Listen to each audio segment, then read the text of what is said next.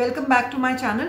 Uh, in continuation of the class 12th CBSE board practical exam in chemistry, I am uploading today a video concerning acid radical analysis, uh, the performance part as well as the viva questions. So let us discuss with salt analysis uh, details. Um, all the points that are written in blue are the viva questions. Uh, red is highlighting and the main content is written in black. So let us start with salt analysis. Acid radicals, uh, they come from acid part.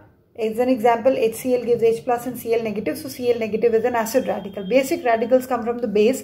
So uh, example, sodium ion, it's a basic radical. It's a cation because it's coming from a base. Now, you can be asked the first Viva question as uh, what are acid and basic radicals and why are they so called? So, acid radicals are the anions, so called because they are obtained from acid and basic radicals are so called because they are obtained from bases. Uh, basic radicals are the cations. Now, uh, tested testing done by I'm first going to talk about acid radicals. The testing is done by sulfuric acid. Based on this, all the radicals are divided into three groups. The dilute sulfuric acid group, that is carbonate, sulfite, nitrite and sulfide concentrated sulfuric acid group, nitrate, acetate, fluoride, bromide, iodide. I've just written those common ones which are generally discussed in schools. Independent groups, sulfate and phosphate, right? The basic radicals are classified into six groups. The zero group is ammonium ion. Group one is mainly lead ion. Group two is again lead ion, copper ion, arsenic ion and cadmium ion. Group three is ferrous ferric aluminium. Group four, nickel ion, manganese, zinc ion and cobalt ion. Group five is barium, strontium, calcium. Group 6 is magnesium ion. And the question here is why do we use sulfuric acid uh, for detection of anions? That is the acid radicals because now we have to observe liberation of some specific gases for specific ions and if we use HCl and nitric acid they may give their own gases like HCl might decompose to give uh, chlorine or HCl um, itself is a gas so similarly nitric acid might decompose to give a gas or nitric acid vapors may be confusing okay both HCl and nitric acid are more volatile than sulfuric acid. Sulfuric acid due to strong extensive H bonding is a less volatile acid. So because of this we prefer to use sulfuric acid than using the uh, HCl or nitric acid.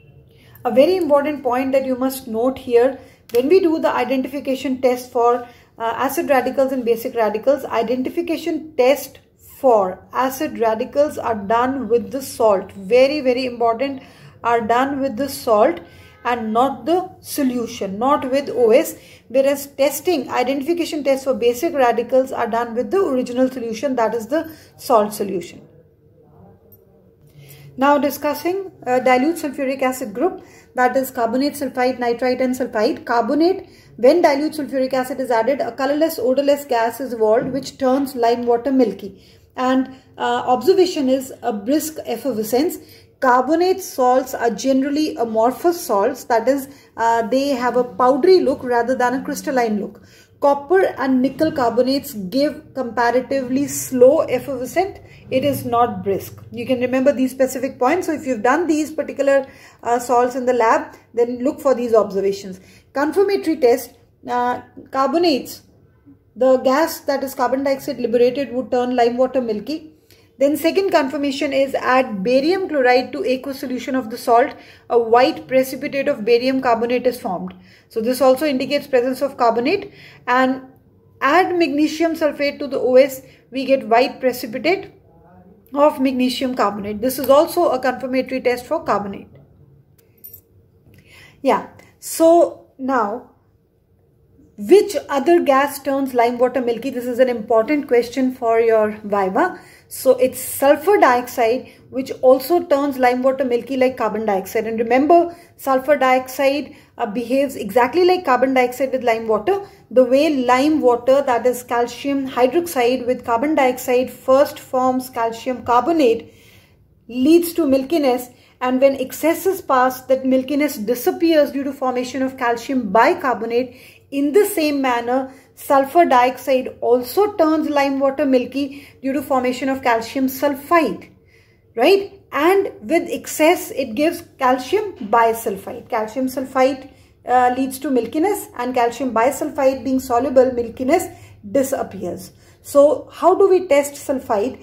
Sulfite with dilute sulfuric acid gives a colorless, pungent, suffocating smell. The point that you need to note is carbon dioxide was a color, a odorless gas, whereas sulfur dioxide is a pungent, suffocating smell. So here you will be able to distinguish between whether carbon dioxide is liberated or sulfur dioxide is liberated. And most often in your labs, you do carbonate salts. Sulfite salts are less commonly done.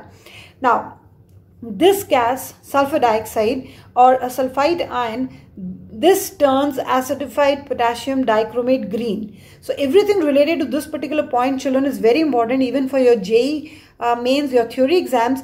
Just remember, acidified dichromate. Dichromate solution is orange-red in color. Acidified dichromate turns green due to reduction. Now, then the next point is sulfur dioxide turns lime water milky we have already discussed this decolorizes acidified KMNO4 solution.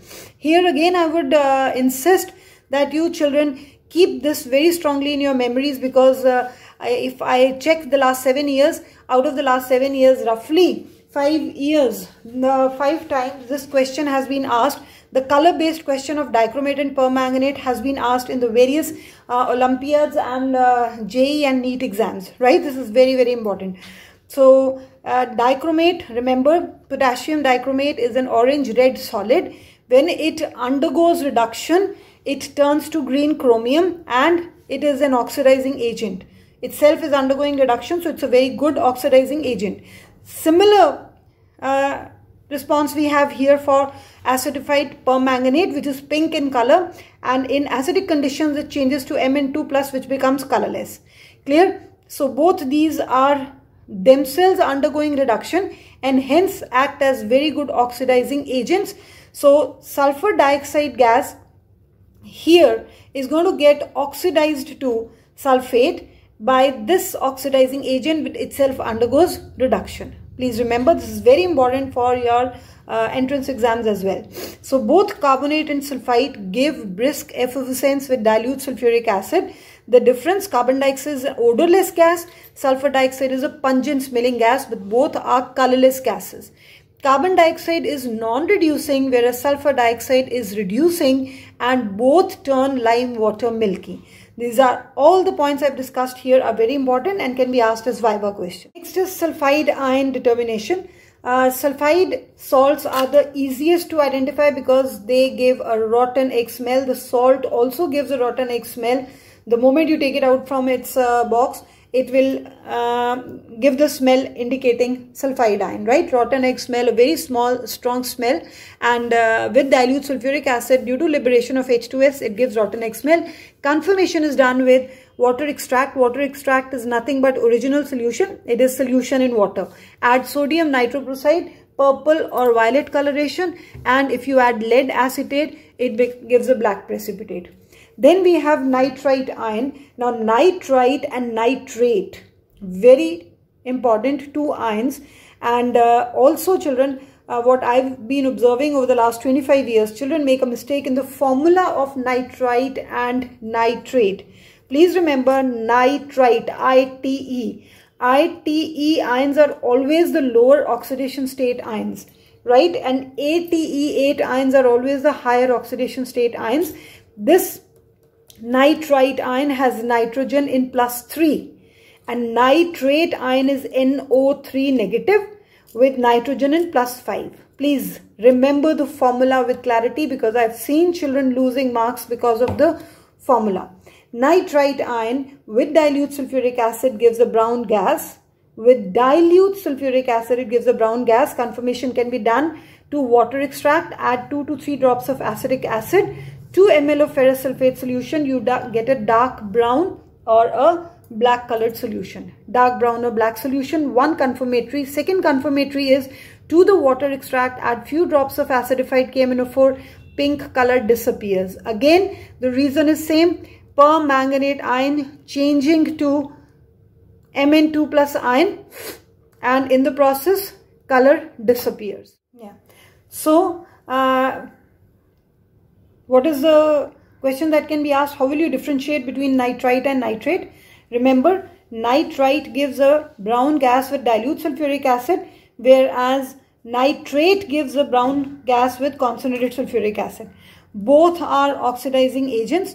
Both impart deep blue color with diphenylamine. Diphenylamine, this is the structure of diphenylamine. Both of these oxidize diphenylamine to convert it to NN, N-N- dash N dash tetraphenyl hydrazine and water. Okay, this, this question is generally not asked, but diphenylamine test is performed for nitrite and nitrate. Both of these are going to impart deep blue color due to this kind of conversion.